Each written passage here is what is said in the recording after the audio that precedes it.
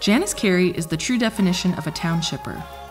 Born and raised in Lennoxville, her family has been a staple of the community for over a 100 years. No stranger to our campus, she worked in our library and our summer camps long before becoming a teacher here over 15 years ago. It's even where she met her husband Bob. An engaged member of our community, she's been involved in all facets of life at BCS since setting foot on Moulton Hill.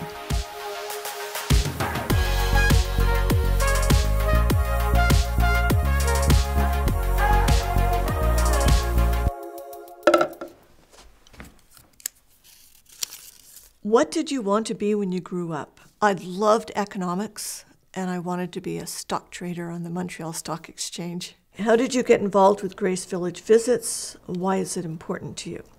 We used to take a group up to the Grace and they would play games, but this was on an, on an individual basis. To see the students' connection with the seniors, they love the seniors, the seniors love seeing the students, and I just think keeping that connection is really important. What topic could you spend hours talking about? Right now, probably the Raptors. My husband is a big basketball fan, and through our long marriage, he's converted me to basketball. What book has had the most significant impact on you? Recently, I've been reading some First Nations books and shared them with my students. Another one is a book called Mississippi 1955, and I think it's important for the students to understand that these were real people, that they had, they're not just names that we hear of like Martin Luther King Jr. or um, Medgar Evers. These are real living, breathing people. So those have a lot of impact on me. Who came up with all these questions? Why did you choose to send your daughter here? I realized that BCS, in comparison to some of the options, had a lot more to offer to her. And I liked the small classes, I liked the community, and I didn't want her to get lost in a large high school. How do you relax after a hard day at work? I mean, we have a hot tub, but I'm not sure if you want to put that in your video. my husband would say I'm addicted to my iPad, and actually, I've taught my cat to use the iPad. Baking, reading, watching mysteries, reading mysteries. What is your favorite part about the Festival of Nine Lessons and Carols? When it's over. but no, I love the Festival of Nine Lessons and Carols. In recent years, I've, I've changed it so that the students reading it aren't just reading in English, and it just brings home the fact that um, the Bible isn't just for white Western people, that it's universal. It's a universal message. And it also speaks to the international character of our students. It's a labor of love. Do you judge a book by its cover? Yes, I do. By the front and the back cover. I've got an activity I'm going to be doing with my students where one book that we're going to read has all the different book cover variations. So it's like, what can you learn from the different book covers?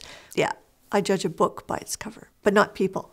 How are you involved as a volunteer in cadets, and why is that program important to you? Oh, man, you guys. cadets is important to me. It's the traditional part of BCS, but it also shows us how we evolve because cadets now is not what it was even 10 years ago and certainly not 20 or 50 years ago. I think that shows that the school can adapt, can evolve with the needs of, of our student population. What is one thing you wish you had known when you started your career? You can't know everything when you start. And growing with your career is important. I'm just glad that I can keep learning. I keep learning from my students, I keep learning from uh, conferences and my colleagues it's more about the process itself. Oh, we finished that one. Level three. Oh, boy. What accomplishments are you most proud of? Well, I don't think my daughter's an accomplishment, but I'm very proud of her. What is your teaching philosophy? Yes, it's about communicating material, it's about teaching skills, but I want them to want to learn. Not everybody is loves English. Not everybody loves to read. But I just want them to be excited about learning, about coming into my classroom. If you can get your students to, I guess, look at the world around them in a different light, that's, that's important. Who are your personal heroes? I guess a lot of my heroes would revolve around civil rights movement, uh, people who stood up for what they believed in, who fought, and who were often killed because of that.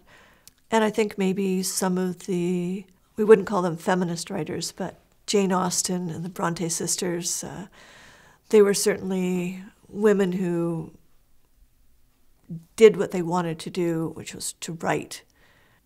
Picking up the pen and doing something, or standing up for what you believe in. And, you know, those are, I guess, the people that I admire. That was my last question.